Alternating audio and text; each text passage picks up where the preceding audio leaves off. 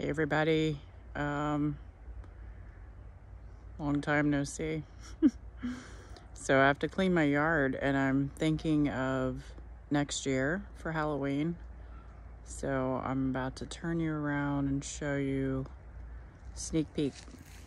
Okay, so I'm gonna show you my mess.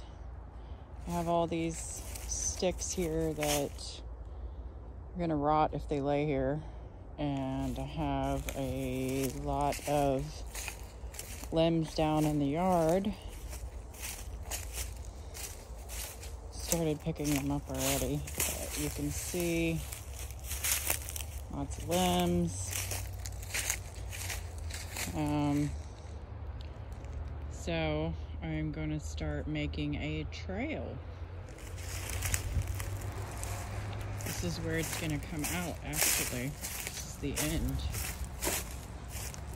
So let me show you the beginning. Okay, so this is the end of the haunted house, right? So this could be the beginning of the haunted trail. Let me grab my drink. And when they come out of the haunted house over there, then they can come over here. This is where they'll come out, but this is, I'm gonna work on this. We'll come through here. I have to move all this stuff, of course. But there's already some fallen trees and I've already started stacking stacking limbs along the side. You see there's like this natural trail already started.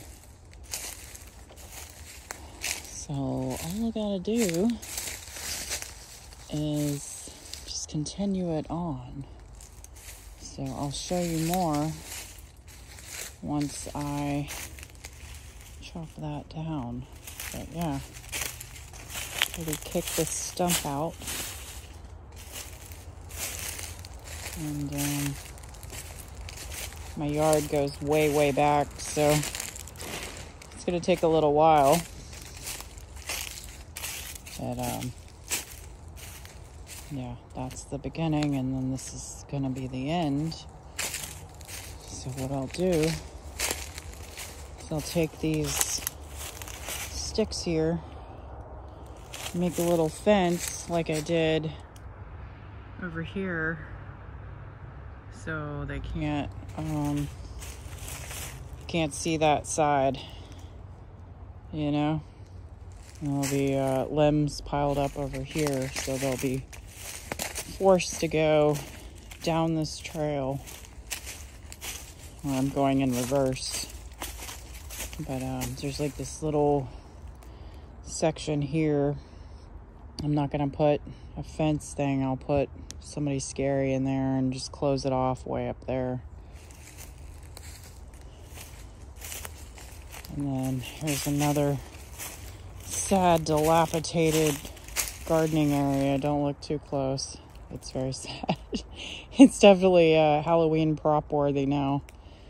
But I'm going to put a little fence way over there between the tree and that tent um, so they can't see the house. and there'll be some sort of scary scene, whatever, right here. And I'll probably have like the end of this open. Um, but they'll they'll mainly stay on the trail. I'll probably have like a piece of tape here. And then here's the edge started piling stuff up. Clearing this out yesterday. Piles. Every time we have a storm. So this will continue on and I'll just pile the trail up with leaves. Here's a little uh, sunken in section. Something can be.